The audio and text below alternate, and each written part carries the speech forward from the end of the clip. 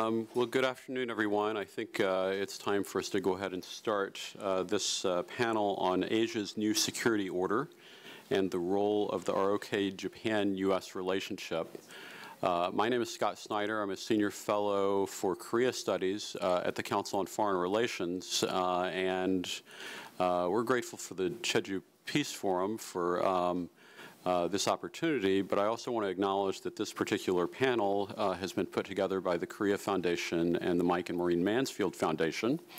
Uh, and it uh, includes uh, scholars who have been here in Korea over the course of the past week as part of a project. focusing on emerging leaders and looking at issues uh, in U.S. Uh, relations with Korea and with Japan. and so we've got some really, I think, good people. Um, and uh, I'll introduce them momentarily, but I just want to say one or two words to set the framework for this panel from a U.S. perspective. And I think the best way for me to do that is to simply note that um, over the course of the past uh, year or so, uh, the U.S. government uh, has definitely made it a priority uh, to support and promote uh, trilateral cooperation uh, among the U.S., Japan, and South Korea. and I think that that is most clearly expressed in a speech that was given by the U.S. Undersecretary of State, Tony Blinken, a few months ago at the Brookings Institution, uh, where he stated uh, that the U.S. was seeking a trilateralism among the U.S., Japan, and South Korea that was one, strategic in value, two, complementary in nature, uh, and three, global in scope. And so I think that to some degree, what we may be doing in this panel is trying to tease out and explore what that means what that means uh, in the context of uh, Northeast Asian security challenges. And we've got uh, an excellent uh, set of uh, panelists to help us do that. Uh, I'm not going to take a lot of time to introduce them, but I am going to um, at least um, acknowledge and, and, and, introduce them rather than giving a lot of background in the order that they are going to present. Uh, and so on the far end, we have uh, Andrew Yeo, uh, Associate Professor of Politics at the Catholic University of America in Washington, D.C. next to him is Weston Konishi, uh, the William Reich Visiting Lecturer of East Asian Studies uh, at the Johns Hopkins University.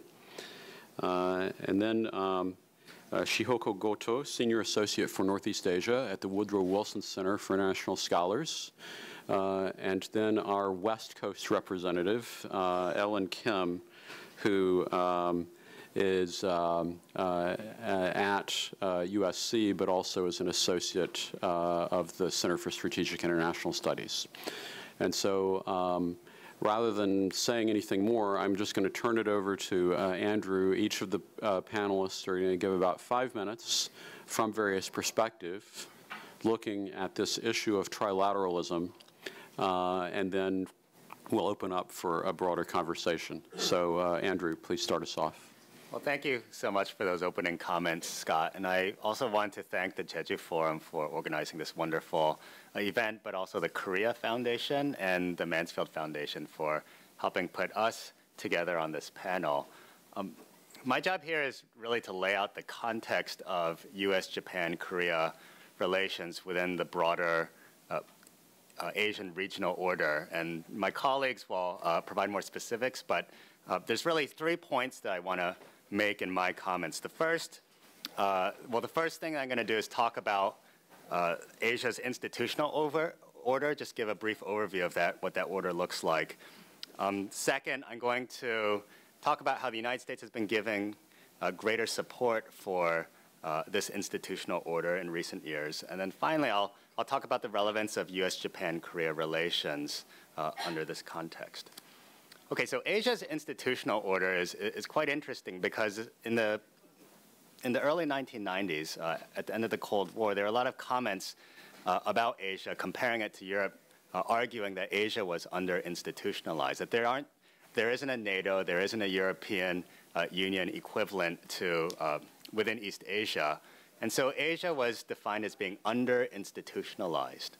Um, but if we fast forward and look at the institutional uh, architecture today, um, there's plenty of uh, there are plenty of institutions out there, and I would argue that today the institutional order is characterized by overlapping institutions. And there's a term that uh, Professor Victor Cha uses. He refers to it as a complex patchwork, where you have overlapping bilateral, trilateral, uh, minilateral, and multilateral institutions um, layered on top of one another. So this is what uh, East Asia's institutional order looks like in the 21st century.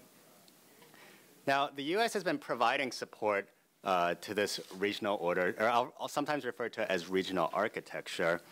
And they've been uh, providing support going beyond the traditional hub and spokes, the traditional bilateral alliance system that, uh, that Washington had relied on during the Cold War.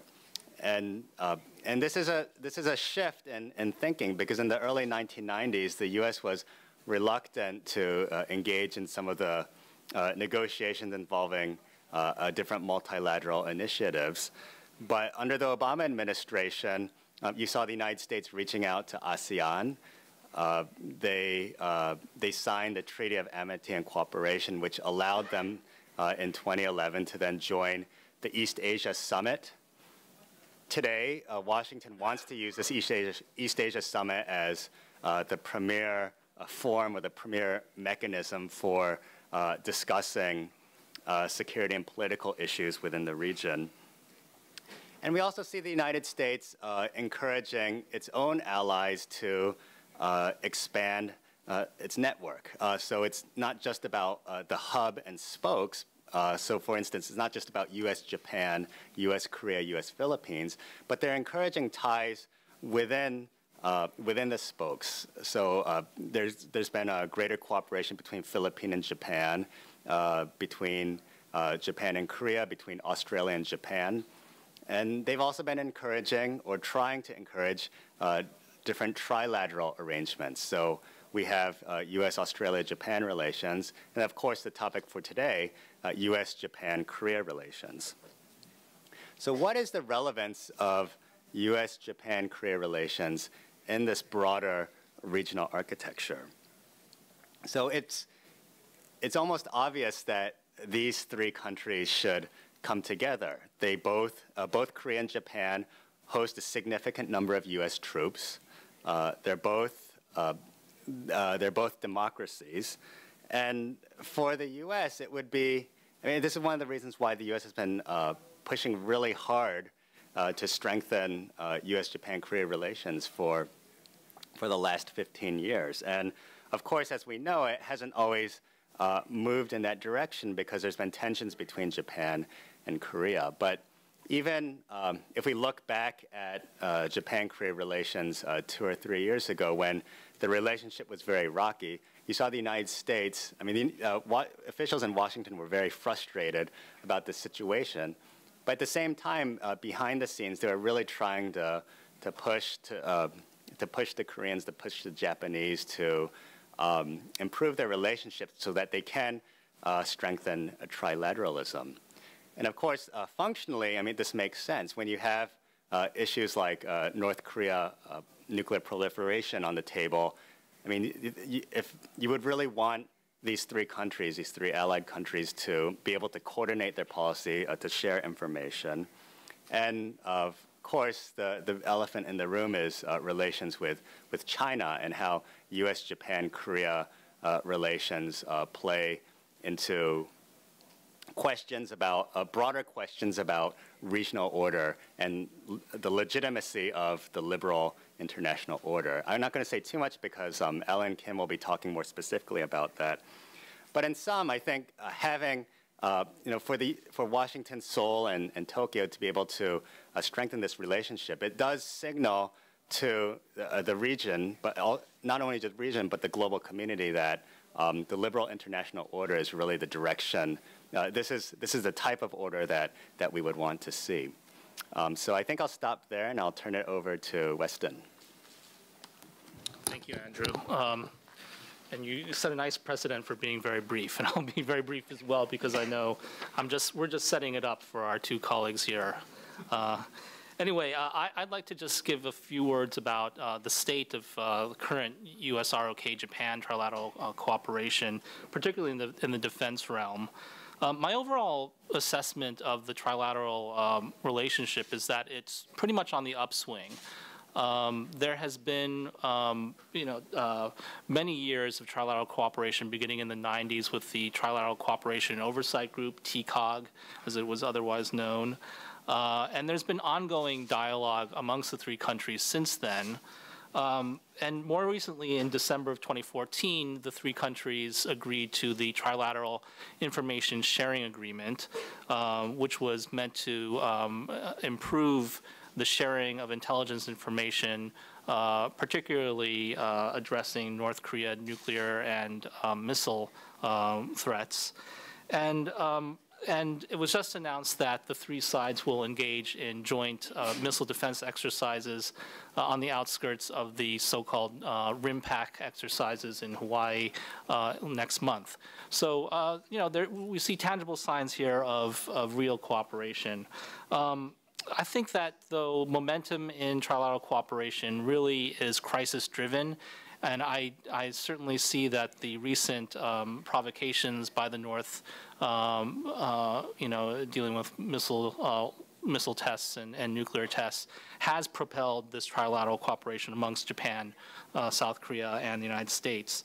Um, but I, th I, think in the absence of any more um, provocations by the North, we're likely to see uh, trilateral cooperation sort of plateau for the time being, uh, and I don't see that really change. I don't, I don't foresee uh, major uh, improvements in trilateral uh, coordination or any sort of major breakout agreements, I should say, amongst the three powers uh, in the absence of any sort of major event on the peninsula.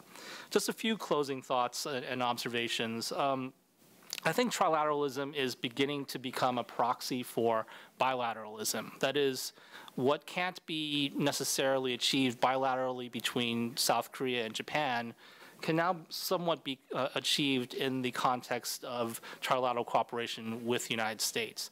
And the famous example of this was the uh, um, inability for Japan and South Korea to reach an agreement on their um, information sharing uh, mechanism in, in 2012.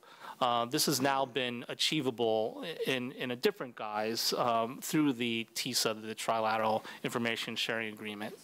Um, the scope, uh, the second sort of observation I make is that the scope and the range and the speed of trilateral cooperation, I would argue, um, depends on South Korean um, willingness. And, and so if you could only imagine the trilateral relationship as a kind of car, um, I would argue that um, it's the United States and Japan that have their foot on the accelerator, on the gas pedal, and it's really South Korea that I would argue um, fairly unfairly has its foot on the, on the brakes. Uh, and and uh, so, and I think a lot of this depends, of course, on um, or, or, is because of the tensions, the lingering mistrust uh, that exists between uh, Seoul and Tokyo. Uh, that is an ongoing issue. But I never, at the, at the end of the day, I do think it's South Korea that, that controls the, the range of cooperation. Um, finally, um, I think that Japan is likely to focus more on this, the US ROK Japan trilateral uh, relationship, uh, especially now in the wake of the um, debacle that occurred last month uh, with uh, Australia um, uh, deciding to sell or, or, to give the bid for its submarine, new submarine fleet to France instead of Japan. This has actually really soured Japan-Australia relations. Uh, and in turn, I think this really casts new doubt about the ability for the um, U.S., Japan, Australia trilateral uh, um, defense relationship to really go to the next level of engagement. Um, similarly, I think that there's problems with the U.S., India, Japan trilateral uh, arrangement in that uh, India is, um, I think, still has uh, a tradition, a very strong conviction of non-alignment, uh, and its um, um, its interest in uh, in this um, trilateral cooperation is really kind of uh, ebbs and flows.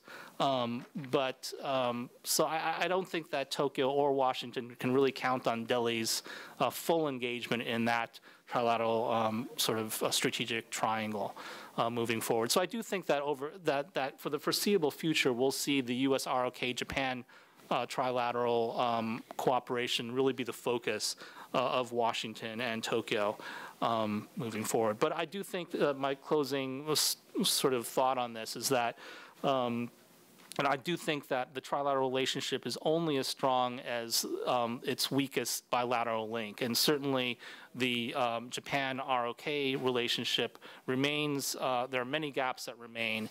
Uh, and so until that really is, is filled, those gaps are filled, I think we'll, um, trilateral, trilateral cooperation will um, have its, its challenges. So I'll leave it with that.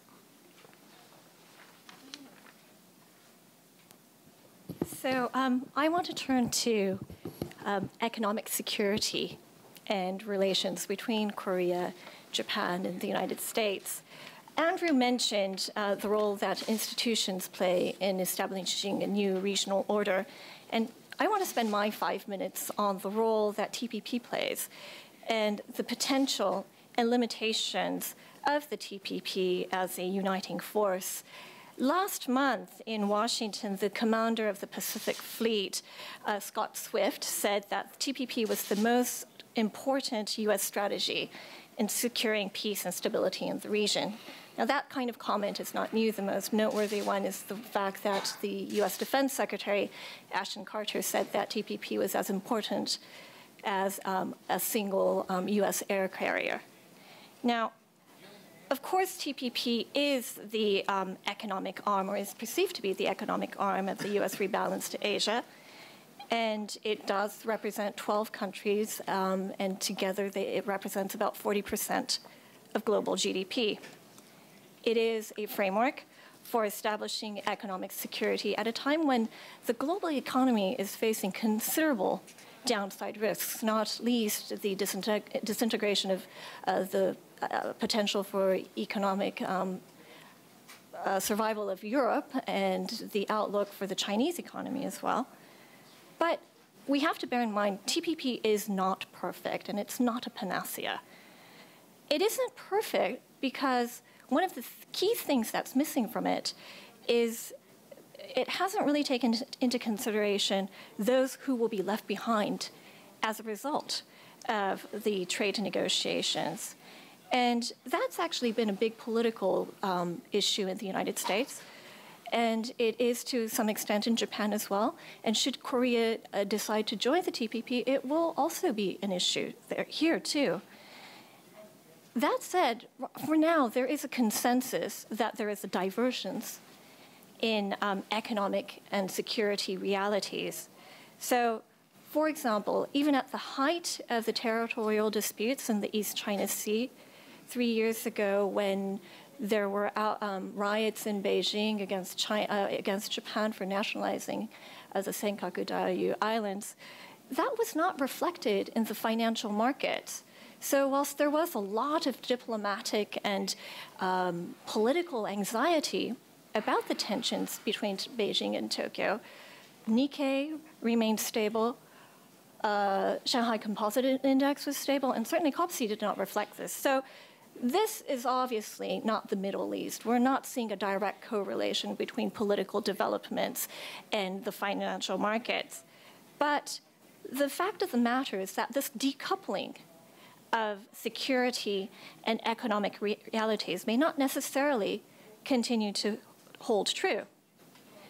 Now, one of the reasons is because we've, we've discussed already uh, the, the ongoing military diplomatic risks and the return of great power politics and the rise of nationalism across the region. And whilst TPP is seen as a unifier, something that can overcome those obstacles because it is an open platform. Unlike a bilateral free trade agreement like KORUS, the US uh, Korea bilateral free trade agreement, the understanding of TPP is that it is open to everyone. It has 12 member countries right now, but its success lies in its ability to continue to grow and to continue to expand. And it will only become stronger if Korea joins, and indeed if the Philippines joins, if the Indonesia and Thailand join as well and it will bring greater efficiency to trade, and it will make it easier for businesses, um, larger scale businesses that do cross border trade, to deal with standardization of rules, and not to mention tariff reductions. But does it really provide common values? Is it, is it, can it be something that represents a de facto uh, Asian values? Um, if we are to answer that, we have to take a step back and remember what has led to East Asia's success in the first place. And, what, and that is something that the United States needs to bear in mind as it continues to be and act as a Pacific power. And that key issue is this it's that the key to regional growth is the lifting of all boats. So, when the World Bank released its seminal report entitled The East Asian Miracle, over two decades ago, there, it assessed eight countries that grew, including Japan and Korea. And it gave a lot of analysis on the public policy prescriptions that these countries took to let their GDP growth rate gain, but also how these policies improved welfare and led to more, an, a more equitable income distribution. So, in a nutshell, economic stability hinges on social stability.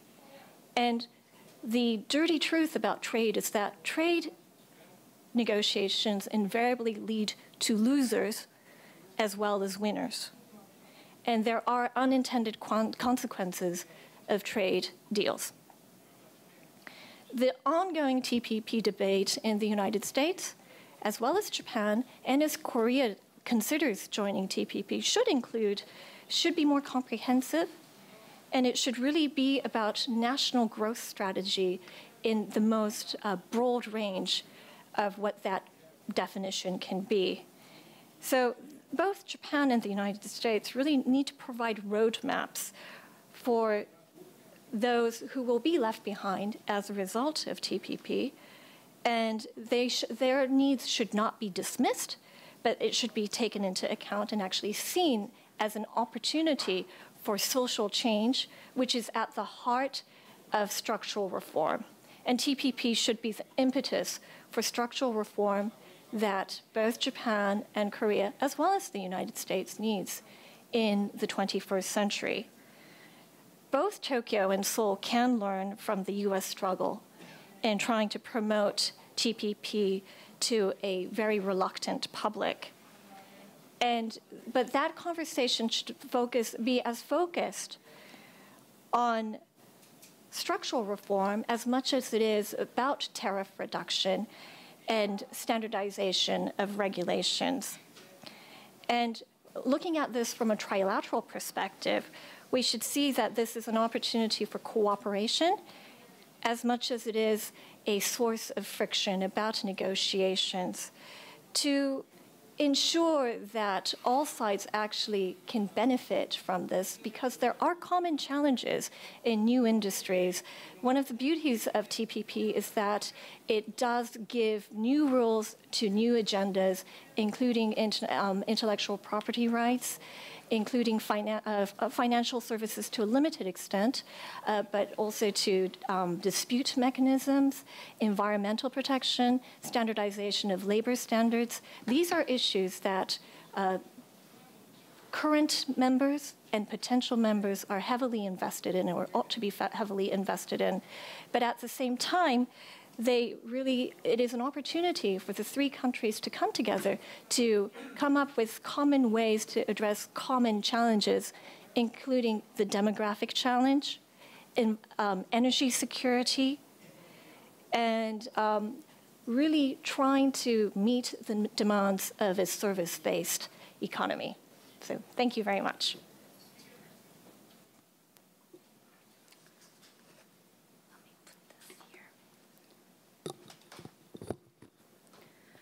So today, Asia is facing both opportunities and challenges, from North Korea's uh, continuous nuclear development um, to resurgent historical and territorial disputes um, to China's rise and its increasing willingness to project its power. There are a number of regional issues that creates uncertainties in the region and which makes the robust US-ROK Japan trilateral cooperation ever more important in ensuring peace and stability in the region. But there are also st some strategic limits and challenges facing U.S. ROK Japan trilateral cooperation. And I want to focus more about um, the challenges, particularly in regards to relations with China.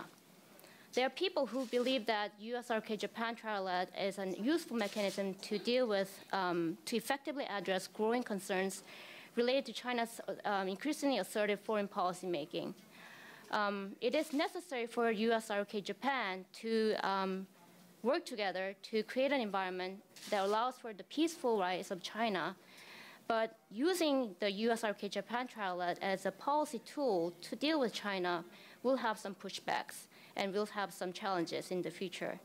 I say that because um, there seems to be a fundamental gap in the way how countries perceive uh, China's rise, especially between the U.S. and Japan on the one hand, and Korea on the other hand. And also, there's a, as a result of that, there's a misalignment, misalignment of policy strat, um, priorities and strategy regarding China. For the US and Japan, um, while each country is trying to improve their relation with China on their own, they have been working closely together to um, check China's assertiveness and also ensure the current security and economic order. On the other hand, um, the South Korea under current Park administration has pursued active engagement and sometimes even accommodation of China. Um, and as a result, we have seen the U.S. Um, South Korea-China relationship reaching the highest point ever in, the, in their history of the bilateral relations. This differences in um, the country's approach to China, I think, um, has to do with the fundamental differences in how countries perceive the rising China. In the case of Japan, especially, there's a serious ongoing uh, territorial dispute between Japan and China about the Senkaku Taiwan issue. But there's um, the, but Japan also sees China more as a regional competitor, with China's rise and assertiveness as a big challenge to Japan's security and prosperity with the potential to undermine its position in Asia. Um, similar things can be said about, of course, U.S. Um, on a global scale. But on the other hand, also South Korea do share Japan and U.S. concern about China's increasing assertiveness. Um, South Korea do have some fundamental strategic dilemma vis-a-vis China. Um, I, will say three dilemmas. One is that South Korea is um, small country and China is big country, giant um, great power that is rising right next door. The sheer differences in the various measured power between South Korea and China, between um, in terms of their population, land size, and military capability, shows there's a um, there's a fundamental vulnerability and skepticism that South Korea feels about China, but it's also that gives the incentive to South Koreans that they do not want to antagonize China or want to, uh, want to accommodate China. Um, in addition, South Korea's expanding trade um, relations and increasing economic dependence on China has been a major driving force behind South Korea's continuous efforts to deal, um, to engage with China. Not only did China surpass the U.S. as South Korea's largest trade um, partner in 2004, but its trade volume with South Korea has also exceeded South Korea's combined bilateral trade volume with Japan and the U.S. And this has actually led many South Korean public uh, businessmen and also policymakers to believe that South Korea's future, economic future is actually tied to China. Finally, but more importantly, um, South Korea's policy priority is on the resolution of North Korean issues and South Korea's desire for unification. And because of that, um, South Korea needs China's cooperation, and this, um, desire for China's cooperation made South Korea extremely cautious and reluctant to join U.S. and U.S. and Japan on their efforts to on the regional and global issues that could antagonize China.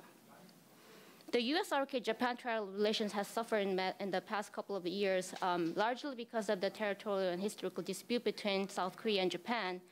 But I think that there's fundamental differences in the way how countries see the China and their subsequent policy mismatch actually will have emerged as a potential problem for the trilateral cooperation as the, there's more tensions on the South China Sea and if and as South Korea comes under enormous pressure. Um, so what can be done? Um, I don't have a perfect policy prescriptions, but then I do have something to, uh, three things to say. One is that understanding South Korea's strategic dilemma vis-a-vis -vis China is critical for the U.S. to manage its alliance with the U South Korea and the South Korea, Japan, and U.S. must address their policy mismatches regarding China and decide, determine how to sustain a coordinated, if not common strategy. But more importantly, there must be joint efforts and trust-building mechanism between countries, between Japan, China, and Korea, and the U.S. government should support this. In the end, the tensions and conflicts in Northeast Asia and beyond is no, long, no one's interest. Finally, South Korea must understand that there's a danger in its active engagement with China without managing its alliance with um, U.S., but also with Japan. And South Korea's alliance um, with the U.S. partnership, U.S. and partners with China does not necessarily have to be mutually exclusive, but South Korea must understand that um, its deep alliance with the U.S. actually strengthens its position as it deals with China. Thank you. Well, thank you to all four of our uh, presenters, and I think we've got plenty of time for questions. I'm actually going to start by asking a first round of questions, one question to each of the presenters, uh, and then I think we will have some time for discussions. So please think about your questions and get ready because um, I think that uh, we can have a really good discussion uh, based on what has uh, been laid out so far. And so I want to actually go back down to the end and, you know, ask Andrew, um, you talked about the institutional order. You actually talked about the liberal international order in Asia. And it kind of begs the question of against what alternative order? Uh, you know, when you use that phrase, is that a stalking horse for talking about um, targeting China? or should we interpret that differently? Uh, and what are the prospects for cooperation with China in the context of uh, aspiring to establish a, a, framework for liberal, liberal international order in East Asia? And I, okay, I guess we, I will ask uh, each question in turn to give our uh, uh, uh, panelists some time to think uh, about their answers. Uh, so I'm going to go to uh, Wes next. And uh, he gave, I think, a very interesting presentation with a vivid analogy about gas and brakes.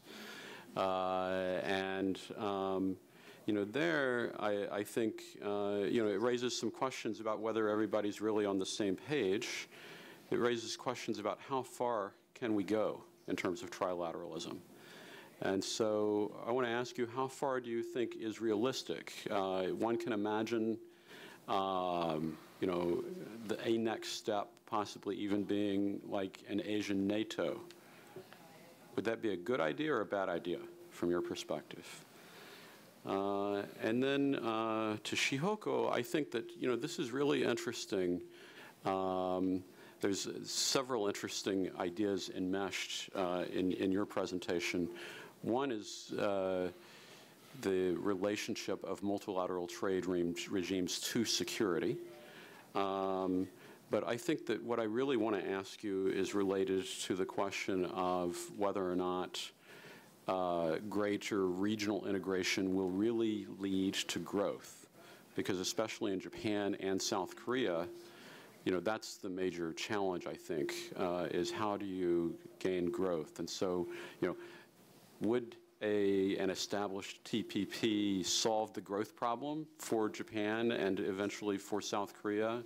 Uh, and, uh, and, and, under what conditions might that be uh, possible? Um, and then um, for Ellen, um,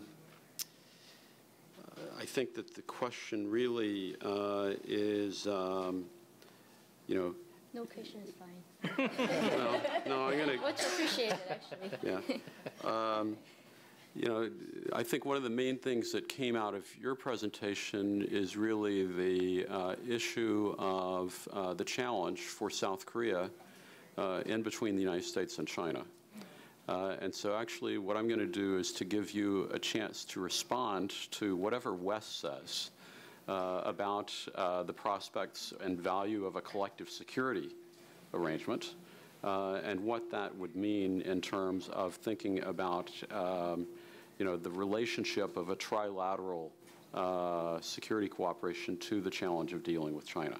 Another way of putting it, or another way, another, I guess, alternative way of asking this would be, um, what sort of preconditions would have to be there to unite the three um, countries uh, in ways that would actually forward their willingness to cooperate given their differences in threat perceptions related to China. So now I presume I've given lots of time for everybody to think about answers, and so I'm going to go back to Andrew, and then we'll just come back this direction. Sure. Thanks, Scott, for giving me a few minutes to think about what it is I want to say because I actually did not have liberal international order in my notes and it somehow just slipped out. But uh, I guess that's where my true colors come. so the question is, you know, when I say uh, U.S. Japan Korea relations helps uphold uh, a liberal institutional order, does that imply that well, there's another country out there that may want to overturn that liberal order, and of course that that country would be would be China. Um, let me step back and just talk about why the U.S. has been uh, more keen in the past few years about uh, participating in regional institutions, participating in you know multilateral uh, forums in Asia, and a lot of it has to do with legitimacy, because uh, the U.S. has figured out that uh, it can't just do things uh, all on its own, and if it wants support, um, if, if, it wants to play a leadership role, that it has to be involved uh, in, in these different multilateral fora, whether you think that they're effective or not. So uh, for the U.S., I mean, it, it, really is about it's you know the U.S. looks out for its own interests. It's not joining these institutions because uh, it's playing. You know, it wants to be a, it, be nice, but it, it finds that uh, participating in these uh, organizations, these institutions, uh, helps uh, give it legitimacy within the region. So, so to answer your question, yeah, uh, to answer your question, it is about upholding this liberal international order. Now, whether China wants to challenge that, I mean, that's the real question today, uh, the big question today for uh, Asian uh, international relations. And one thing that the U.S.-Japan-Korea alliance does is that it, it suggests that if you have a strong trilateral relationship, um, and if the U.S. is engaged in all these institutions, it's that if you want to challenge, um, if you want to challenge this liberal uh, international order, there are many other countries too that are part of this order that you would have to append. Um, so I, I, just to talk briefly about Southeast Asia, for instance, it's not that the United States is twisting the arm of Southeast Asian countries to strengthen its uh, defense ties or security ties with the U.S. It's actually uh, uh, countries like Vietnam or Singapore um, or even Indonesia that are nervous about what's, what's happening with China on the maritime front. So if my personal opinion, if countries had to pick and they, they, don't they don't pick and choose, they tend to hedge. But if they were to pick and choose, what sort of broader order would you uh, prefer? Uh, a liberal international one that's led by the U.S. versus something else by China? I still think that they would pick the former. Wes. Uh-oh, my turn. um, I, I, think of all the questions you asked, this was the most outside the box, and I, I have to admit to be to being a, a, very inside the box thinker. And so, in in uh, in my humble mind, it's very difficult for me to to envision a, uh, an Asian NATO. Uh, anytime soon. But that said, I mean, I, I, do think that you know when we think about next steps in trilateral defense cooperation, security, cooperation. We're really talking about sort of incremental baby steps, things like uh, an acquisitions and cross services agreement between Japan and South Korea and ACSA, as it's otherwise known. Maybe a bilateral information sharing agreement, a GSOMIA, like uh, what we were trying to achieve in, in 2012. Um, so I think that's the most realistic um, um, route. But um, if I were to try to break out of my uh, intellectual um, prison cell uh, and think more about your, your question, uh, I think that you know we have to be careful about um, thinking about uh, NATO-style alliance systems in this corner of the world. Um, you know, I think a lot would depend on on the the way um, our relationship with China would evolve over time. Because that kind of a, an alliance system, I think, would very certainly be uh, a signal of some kind of containment of China. Uh, that, to me, is the only rationale for an alliance system that broad. Um, and, and, so I, I think we're not there yet, and I think we're doing our best to try not to be at that point uh, in, in the future where, where a NATO, where region-wide U.S.-led alliance system is required. So I would, uh, I would hope that we don't reach that point in the future. And I think there are some actual advantages. The, the current system that we have, which is, um, I think, as Andrew kind of alluded to, is, is kind of a more flexible hubs and spokes system, um, a series of trilateral security arrangements, um, that are U.S. led, and I actually advocate for. I think that's a very that's a that's a, an appropriate approach. It allows for more flexibility, um, and um, you know, and I, and I, think it allows for um, a less confrontational. Um, multilateral front against certain countries in the region. Right. So my question was, um, will TPP lead to growth um, in China, uh, in Korea and Japan or not? And that's a really easy question to answer in some respects because there have been many economists who have done extensive reports about how much this will or will or will not add to GDP. The most um, informative one are studies from the Peterson Institute's um, Peter Petri, um, who's also with Brandeis University, and he estimates that there will be on average about a one percentage point growth in GDP over the next 10 years, which doesn't seem like a lot, but when you consider that these countries are growing at about 2 to 3% growth rate at best, that's a really high estimate, it is, it is a pretty sizable increase. Um, but the real benefit from um, TPP uh, from a commercial perspective is that it introduces efficiency into the markets. Um, I see TPP as um, really acting as um, the common European market um, equivalent for Asia, and so that you can do cross-border trade. And it does make, for instance, distributors could uh, cut back on red tape um, and a lot of personnel and a lot of lawyers, um, and reduce um, cross-border trade by about three to five days. And that's that's quite um, um, a big uh, efficiency for smaller size businesses in particular, but also larger size ones as well.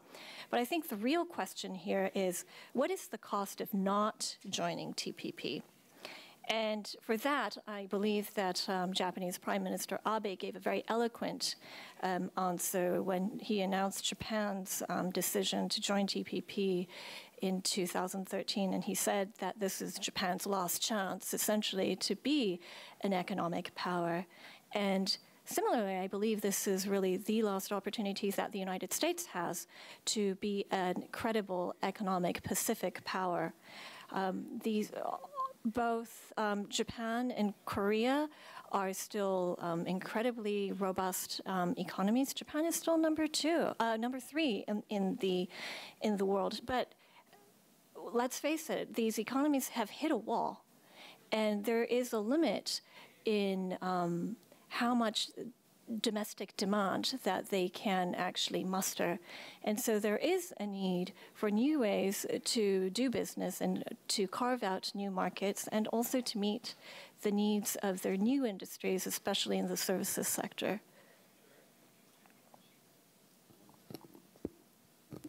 So um, let me talk about the complexity of South Korea's perception of China.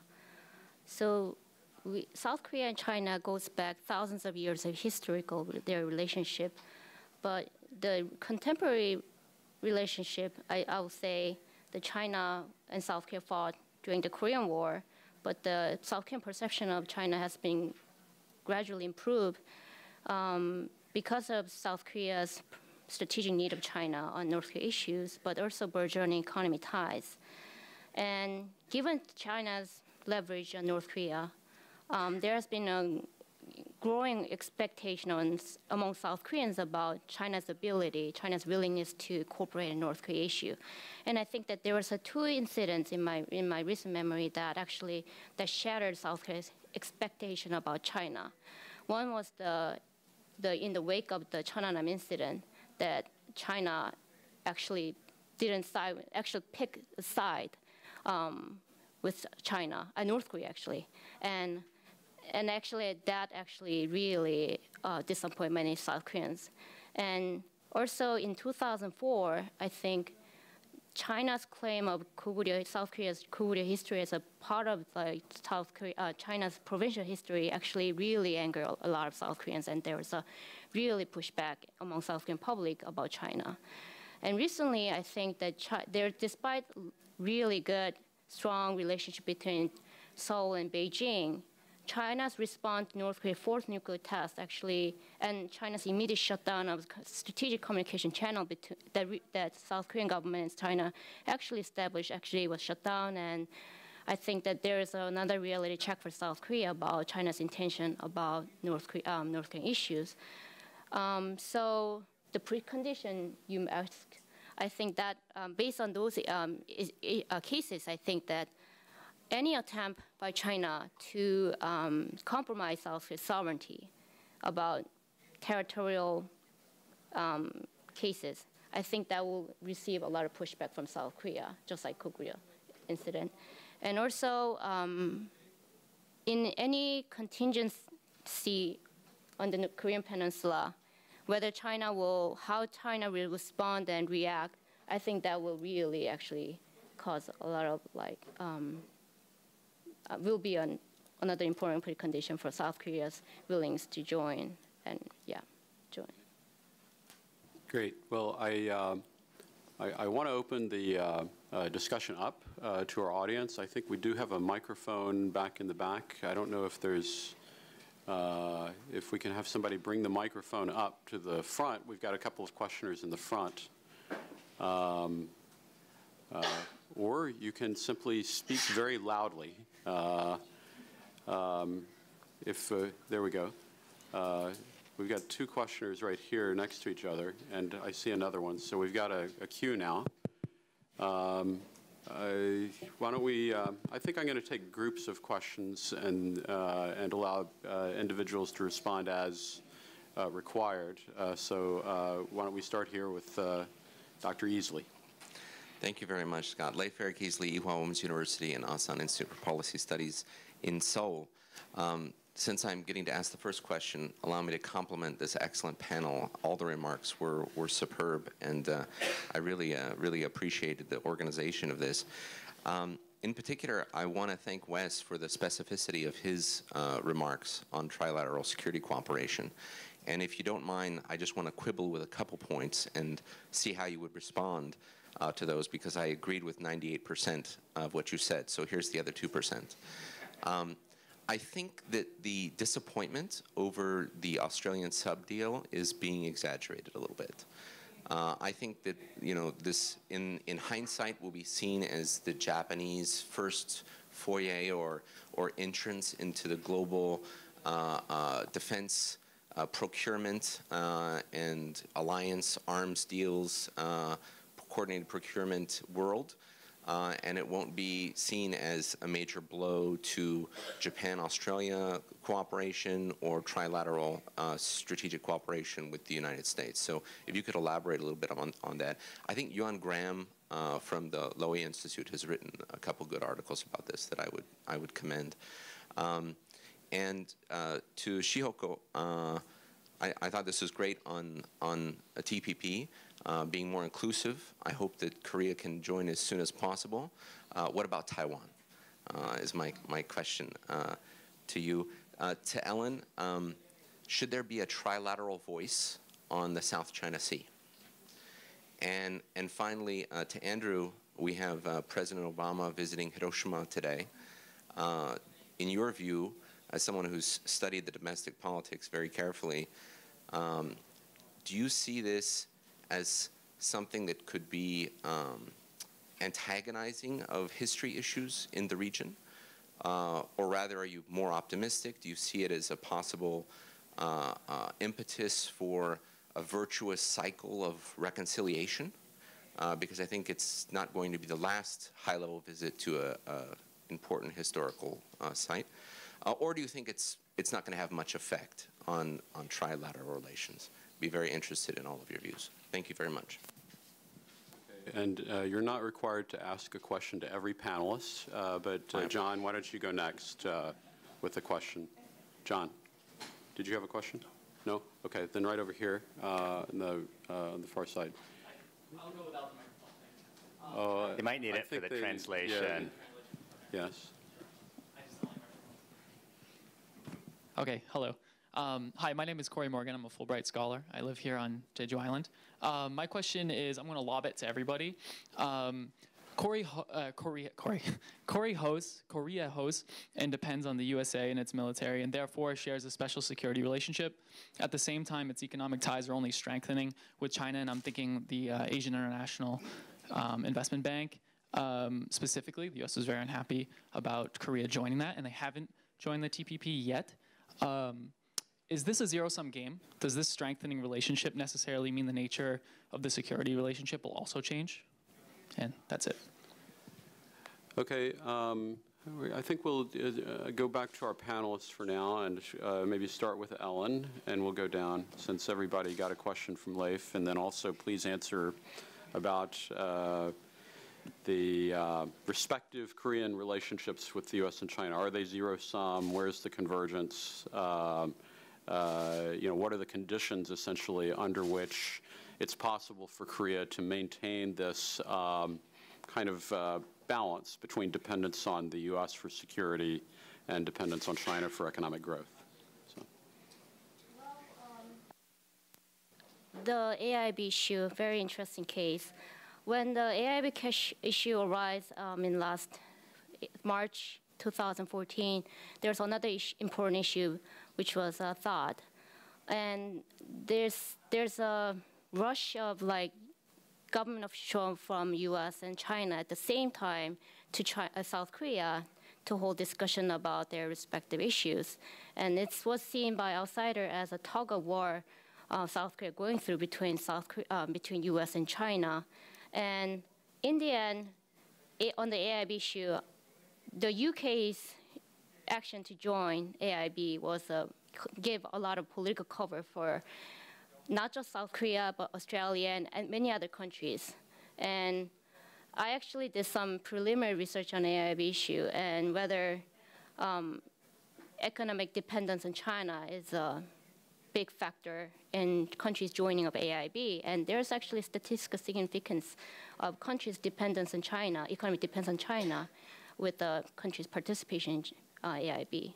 So um, on the mutual exclusivity of the relationship, that what you're?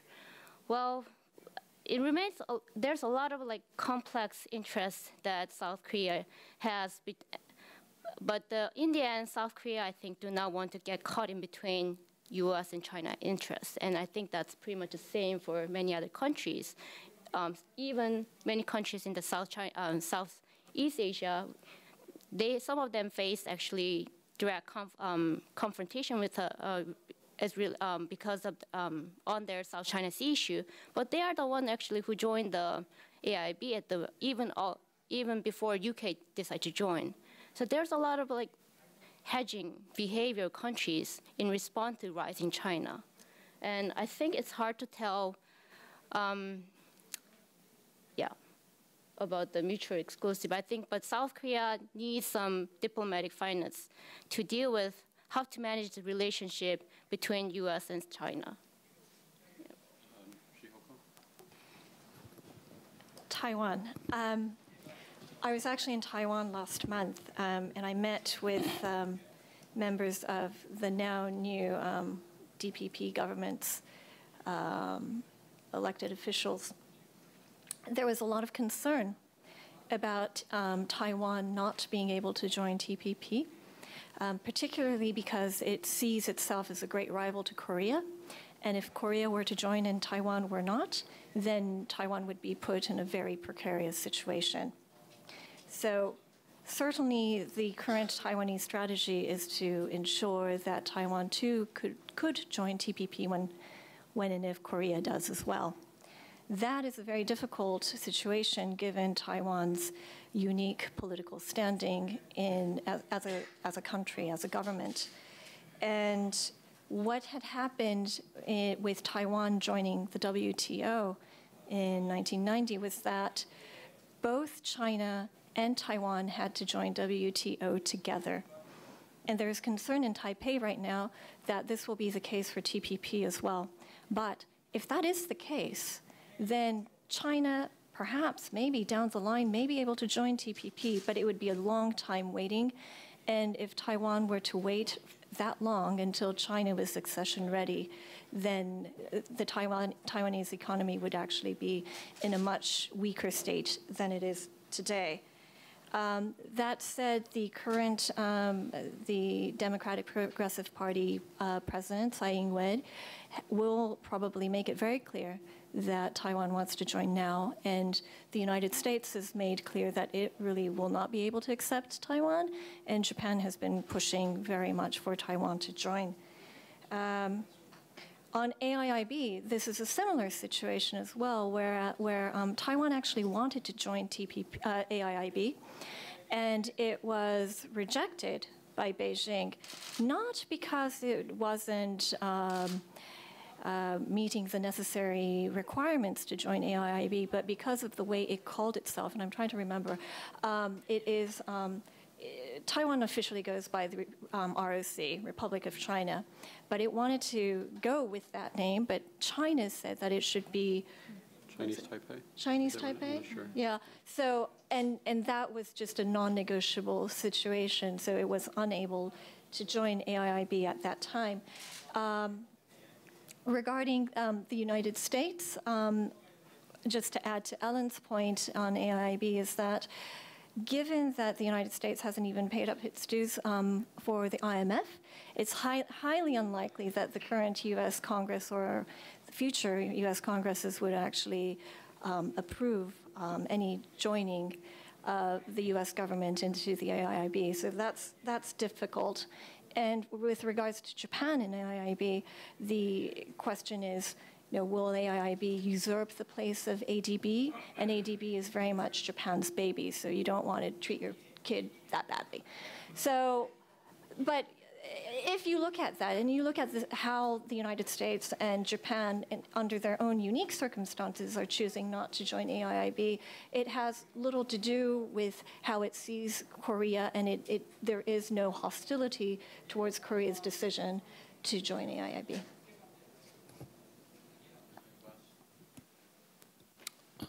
Thank you, Lei, for your, your question. And I, I actually, I agree with you. I mean, I think it's easy to, to make this whole submarine um, issue really overblown and to, and to think, uh, you know, gloom and well, gloom will, will last forever. But I do think that in the short term, um, you know, this this really turned out really badly for both sides, and I do think that there's actually um, really actually pretty bad blood right now. Um, at least that's the, that's what I've heard, uh, and especially from Japanese defense um, officials, is that um, you know, they, there's there's great mistrust now for their uh, Australian counterparts, and they don't even want to talk at this point about strategic issues with their Australian counterparts. Um, I don't expect that to last forever and ever, um, but I do think that right in the immediate wake of what happened. Um, I, I, do think that um, you know there, there's a lot of uh, bitter bitterness in the, the mouths of, of uh, those involved. Um, but I do think that strategic, you know, priorities will emerge over time that will, you know, uh, necessitate more dialogue and, and greater trilateral cooperation over the long term or medi- even medium term. But good, I, I, I, I think that's a good point and, and one that I should have mentioned.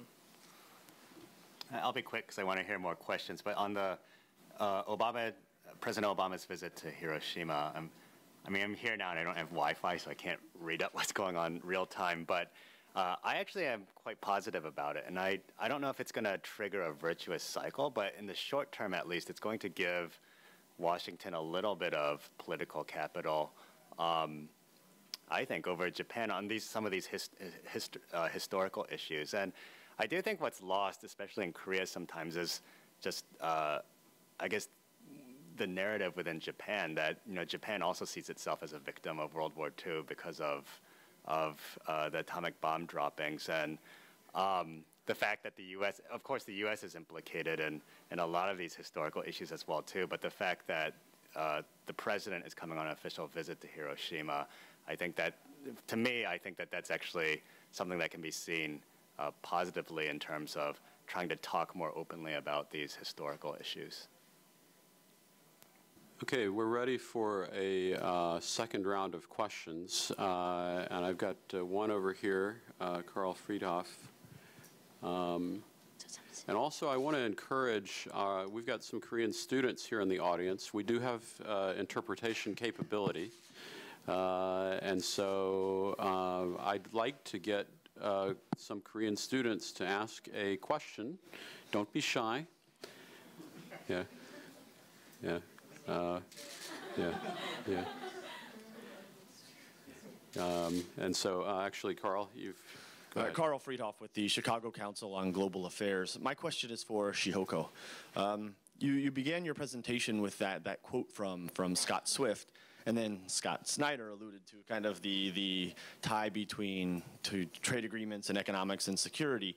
So I know that there is a division between security and politics, but one of the distinct features of Asia is that the economies kind of hum on, and they do a fairly good job, the countries do, of not letting politics interfere with business. And I'm wondering how the U.S. has started to sell this as kind of, you know, being such an important agreement for not only the economics, but also the security, that if we're starting to pass kind of a golden time where the countries were able to keep them separate, but now the U.S. is opening the door to allow those security and politics to start to intervene. So just about the framing of how the U.S. is trying to, to approach this and kind of do the PR for the deal. So your thoughts on that? Okay. 학생들 중에 누가 질문 있어요?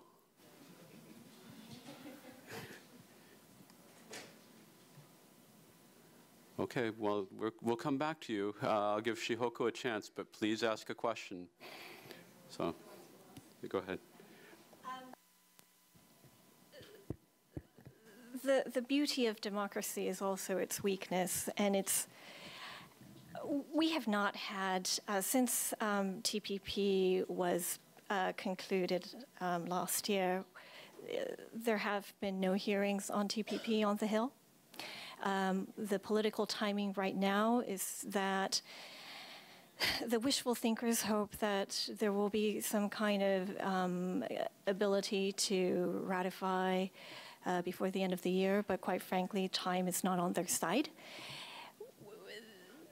I talk about the, weak, the frailties of, of democracies because at the end of the day, this is a legislation that has to be passed by members of Congress and they are beholden, their allegiance, of course, is to the United States of America, but at the same time, they really want to stay in power, stay in office. And if they go back to their respective constituencies and say that they voted for TPP, a lot of them will face a lot of um, trouble. For instance, I was talking to a member from a southern state um, that is heavily invested in shrimping, and the TPP will actually compete head on with shrimpers from Vietnam and his constituents will essentially be unemployed. Um, I talked about this in my in my opening remarks about the need for. Um, you know, accommodating the losers. And there are mechanisms that the United States government offers, federal programs like the Federal Assistance uh, Program. But they're not enough, and there isn't really the, there's a disconnect between, you know, what the national priorities are. This is a security issue. This is a uh, U.S. national strategic interest to have TPP put through so that the United States can remain a Pacific power in the world's most um, populous and, and most dynamic region on the one hand, and on the other hand, you have members who are very beholden to their electorate, and it's very difficult for them to reconcile one another. The White House has actually not been terribly, they, they have been promoting uh, TPP um, a great deal, but it doesn't really address, it doesn't give ammunition to those um, members who are from um, vulnerable states. And interestingly enough, um, the Japanese embassy and other embassies, uh, the Peruvian embassy, uh, the Canadian embassy, the ambassadors and political counselors, economic counselors from those countries have gone on a road show across the United States trying to talk up and say, this will help your state do business in Japan or Peru or Canada. And that has a limited impact, but of course, they're not really going to those hot zones where that argument doesn't hold. So it's difficult. I forgot to answer Professor Easley's question. Um, so he asked me about um, whether, whether, there should be a trilateral voice on South China Sea issue, right? Um, if I uh, were um, South Korean policymaker, I would say this, that we'll, hold, we'll wait until June this year when we have uh, sanctions results on China. Yeah. Okay. Um, I, I do want some additional questions, uh, especially any students who want to ask a question. By the way, you know, I'm the moderator, so I can extend the session as long as I want uh, until someone has the courage to ask a question. Uh, but we don't want to force anybody. Oh, uh, oh, we've got one over here. Okay. Yes. 어, 이거 번역되나요? 영어로 해야 돼요? No, no, you can 아니, ask him. 한국말로 얘기해도 되는데요. 한국말로 하세요. 아 일단요. 먼저 그 한국이 그아그그어 그 지금까지 T, TPP 한국의 TPP 가입을 계속 그 추천해 주셨는데 그 지금까지 한국이 TPP를 가입하지 않는 이유와 그리고 TPP를 가입했을 때 단점을 알고 싶고요. 그리고 그 옆에 있는 친구가 대신 질문해 달라고 했는데 한국의 TPP 가입에 대한 한미 FTA에 대한 한미 FTA에 대한 생각을 듣고 싶답니다. 그니 말하면 내가 뭐 같아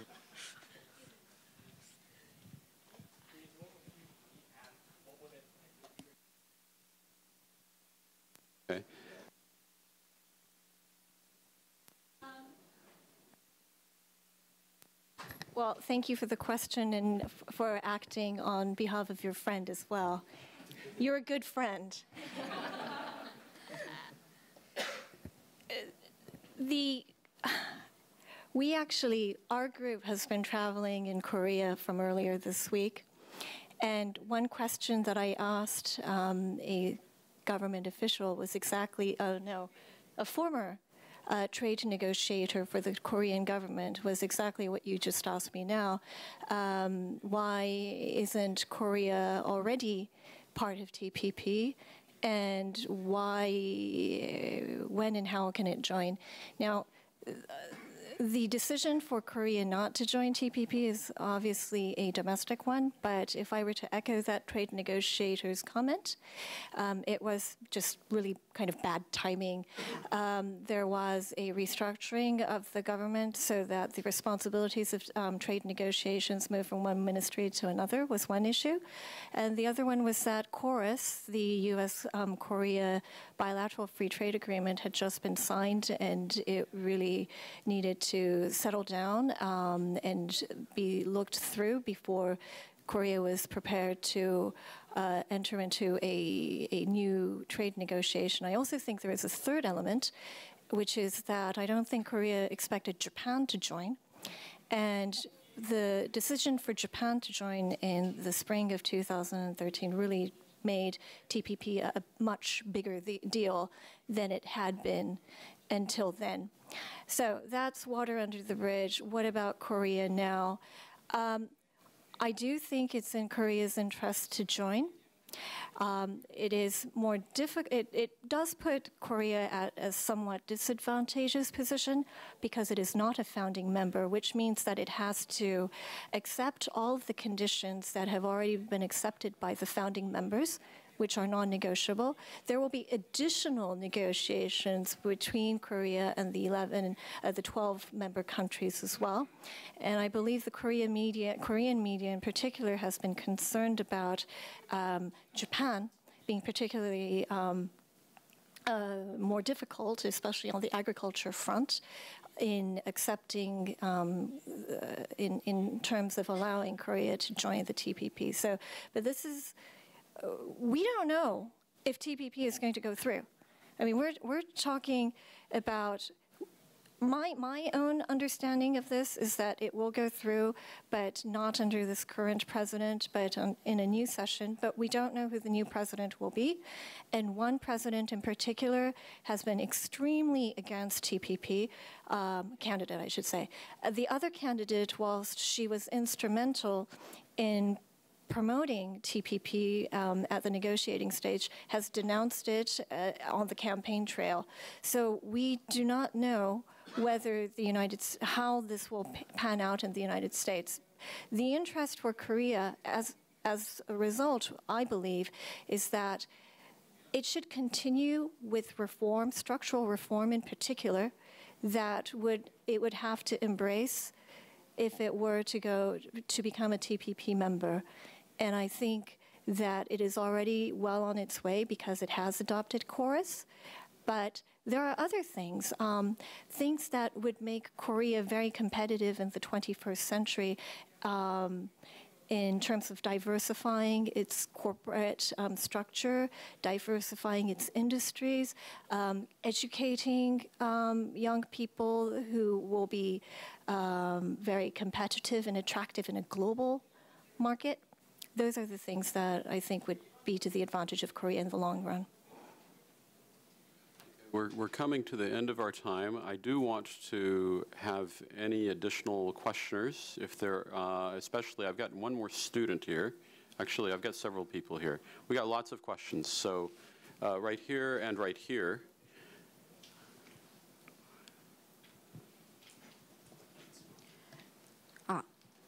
네, 안녕하세요. 저는 조선대학교 정치외교학과에 재학 중인 황소미라고 하는데요. 제가 앞부분을 사실 잘 조금 놓친 부분이 있어서 이 부분에 대한 언급이 됐었는지는 잘 모르겠지만 새로운 동북아시아 안보 질서 형성에 있어서 저희가 일반적으로 생각하는 관점과 인식은 역사적인 부분을 떼어놓고 볼 수가 없다라는 관점을 많이 그걸 위주로 생각을 하게 되거든요. 근데 물론 이걸 그런 새로운 동북아 안보 질서 형성을 통한 뭔가 경제적인 관점에서 이익이라든지 다른 이익도 분명히 있을 수 있겠지만 특히 이 부분에 관해서 이거는 트랙을 분리해서 생각해야 된다. 트랙을 분리해서 이런 뭔가 질서를 형성하고 정책을 추진해야 된다. 이런 말들이 많은데 그러면 이렇게 새로운 안보 질서 형성에 있어서도 이런 트랙을 분리해서 생각하는 게 옳은 방법인지 그리고 이게 보다 더 나은 방법이라고 생각하시는지 궁금합니다.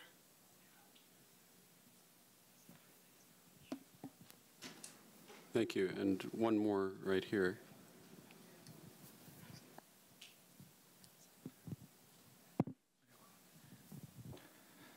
Um, uh, personally, I like to say thank you for your impressive lectures and the, your kind of position that you have shown in this class. Sorry, not the class. Anyway, my name is Hang Nakjun. I'm from the Korean University. I'm studying the international peace and security currently. Uh, my question is, I just wonder the role of Russia because we haven't talked about and we haven't discussed about the role of Russia in um, in these topics. So, um, what I would like to ask you is, uh, what type of things or what type of roles that Russia actually can contribute to the kind of peace or sustainable peace and um, economic growth in this region? Thank you. Okay, we have two additional questions, and actually one of them is very fundamental. Uh, if I were going to rephrase the first question, it is basically, do we have to settle the past in order to shape the future? Uh, and I'd like to get, you know, the panelists each a chance to uh, answer uh, that question, and then the Russia question, whoever wants to catch the ball, please feel free. Um, Ellen, why don't I start with you, and we'll move down the opposite way. So I understand the question was asking whether how we whether we should separate the historical issue from the the security the the right was the secure history issue was huh politics. Um, I'll say that it's necessary. It's necessary and it's in country's interest to to think pragmatic and there are a number of issues that actually emerges every single day. And as we know, that North Korea provokes pretty much like sporadically. And we need, South Korea cannot deal with this issue by itself, and we need cooperation from other countries. So I would say that country needs to think sometimes pragmatically. And I think that you, it was the this this idea was the central in the um, the thinking be, uh, be in South Korean government and also Japanese government about their the way they approach this historical issue. So.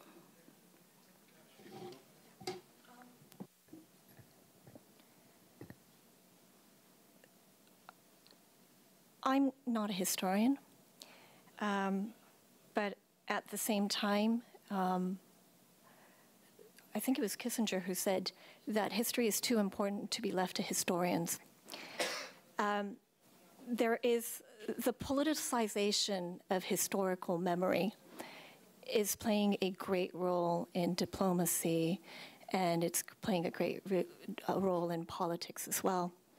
And it is not for me to judge whether that is good or bad, but my belief, my strong, unshakable belief, is that we do need to um, be more compassionate and perhaps there is a lack of um, empathy um, on, on all sides.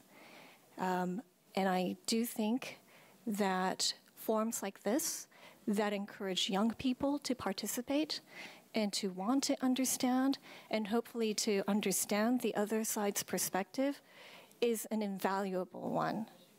And this is not an answer to your question, but it's more a reflection of my hope.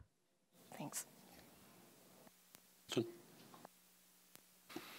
You know, I'm I'm an American and I suffer from um, a symptom that I think a lot of my compatriots suffer from, which is when we look at problems, uh, historical problems in this corner of the world, we tend to uh, we tend to have an impatient expectation that people just get over their differences, that there are much bigger strategic issues at play. Can't you just forget about things and move on?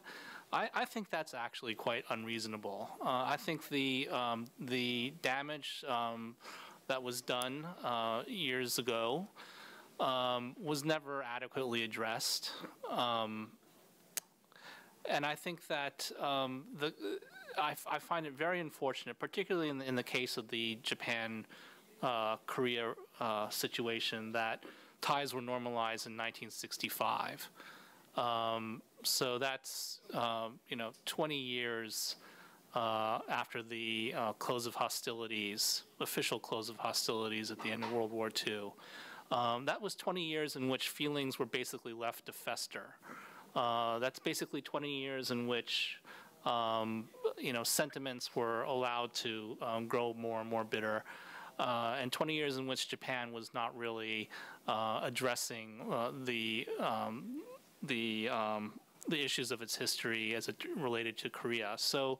Uh, I think um, there's a there you know this is a very complex issue, and I am all for actually reconciling some of these things. They will never be completely resolved. Uh, I think we need to be realistic about that, um, but we do need to heal. Uh, and I do think that that will provide the foundation for moving forward on, on deeper and more substantial political relations in the future. Andrew? Ju- Just quickly on the Russia question, because no one's addressed it. Um, I think things could help if Russia would uh, help resolve ish- the Ukraine issue, for instance. I think Russia doesn't have a lot of, of capital these days just because of the way Russia is uh, commanding its own foreign policy future. But at the same time, Russia is a part of Northeast, uh, Northeast Asia, and um, they've kind of been boxed out of the whole, you know, uh, North Korea um, you know, the denuclearization issue. But, you know, if, again, if for this nuclear, uh, for the North Korean nuclear uh, issue to be resolved, I do think that it has to be multilateral and Russia, uh, Russia does have to be a part of this conversation. And finally, on the, on the question about uh, putting history on a separate track from other security issues in the region, I mean, I think the other panelists were very eloquent in what they had to say, so I, I don't think I'm throwing uh, anything out there that's new. But um, but I would say that I, I do think that you can have. It, this goes back to Ellen's comment, but you can be pragmatic about some of the security, some of the functional issues that are in place. I mean, for instance, you, we do see uh, cooperation between U.S., Japan, and Korea, even though there are these outstanding historical issues. Um, so it is possible to talk about um, security, uh, economic cooperation without always bringing in history. But at the same time, I do think that unless there is uh, ongoing dialogue about some of these uh, historical disputes, uh, historical tension, it's uh, it's going to continue to plague um, plague uh, Northeast Asia relations. And the sad thing is, it's it's really it, it may not never be resolved because uh, history is often a matter of perspective, and you can't get the other to always see the same thing that you do.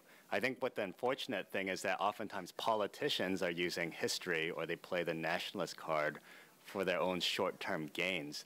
But I do think that if there is ongoing dialogue, if there is ongoing discussion, if there's a willingness to try to understand the other, um, then you can move forward. And because we are on Jeju Island, I actually did a lot of research uh, related to actually the, the Jeju Naval Base, but I got to learn a bit about the history of Jeju and the uh, you know, this Sasam Sageon, the 4-3 uh, massacre. And, you know, these are issues that, for instance, a lot of people back in the United States or America don't know. And so, as Weston mentioned, when I say that countries should try to understand, um, you know, the other and understand what, uh, where their uh, views are coming from, it also, it's also with, uh, I'm, I'm, also speaking about uh, Americans uh, back in the United States as well, too, because I think there's a lot of ignorance even uh, on the part of, of Americans and even U.S. policymakers.